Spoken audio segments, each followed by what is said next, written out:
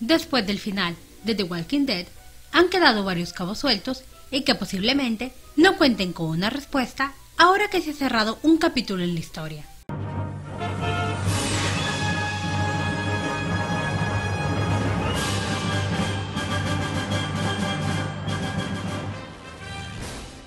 Lane provocó todo tipo de especulaciones cuando trató de inspirar miedo en los personajes principales al mencionar ciertas alianzas que la mancomunidad tiene actualmente en el mundo.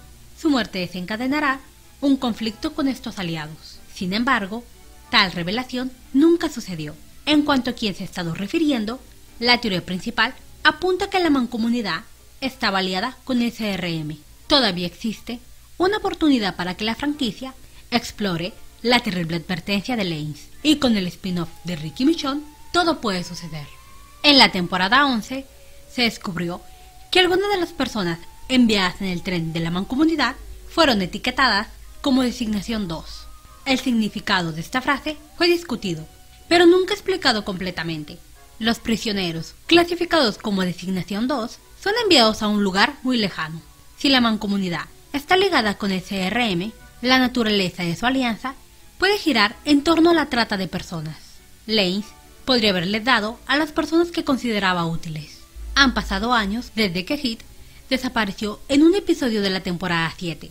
Hasta el momento, su paradero exacto se desconoce. Se han ofrecido pistas, pero no se sabe si está vivo o muerto. No es ningún secreto, en este punto, que Hit fue tomado por el CRM y se especula que podría aparecer en algún spin-off. Y es que, considerando el programa de Ricky Michon, se podría revelar que al igual que Rick, Hit fue mantenido vivo por el CRM como uno de sus trabajadores. Alternativamente, puede ser posible descubrir que Hit murió en un intento de escape o fue uno de los muchos sujetos de prueba que no sobrevivieron a los experimentos de virus zombie del CRM. Aunque puede ser decepcionante, al menos proporcionaría una respuesta a un misterio de largo tiempo.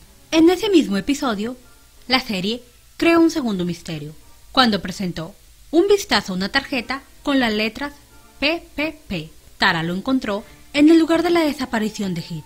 El significado completo sigue siendo uno de los mayores secretos de la serie. Si bien eso fue hace mucho tiempo, la franquicia ciertamente no lo ha olvidado por completo. Otra tarjeta, con las mismas siglas, apareció en otro episodio de The Walking Dead. Se dijo en el penúltimo episodio que la gente de Oceanside fue víctima de un asalto lanzado por la mancomunidad. Luke y Jules sobrevivieron el tiempo suficiente para encontrarse con los personajes principales. Pero el destino de la comunidad en conjunto quedó en el aire. Oceanside nunca volvió a aparecer, lo que llevó a la impresión de que fueron aniquilados.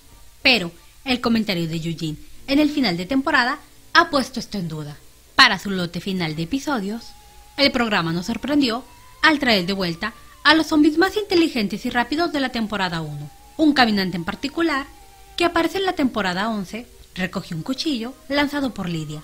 Puede sonar gracioso, y no sé si sería la primera vez que veríamos a un zombie utilizar un arma para matar a una persona, pero varios espectadores especularon que el zombie iba a matar con su arma a un personaje relevante. Sin embargo, eso no sucedió, y todos se preguntan qué sucedió con aquel caminante y su arma.